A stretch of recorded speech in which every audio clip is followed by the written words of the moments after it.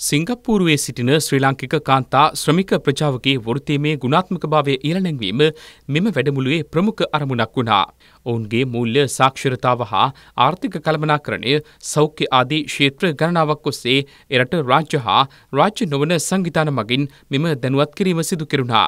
සිංගප්පූරුවේ මිනිස් බල අමාත්‍යංශය හා එරට පොලිස් බලකාය මෙහිදී විශේෂ දේශන සිදු කළා.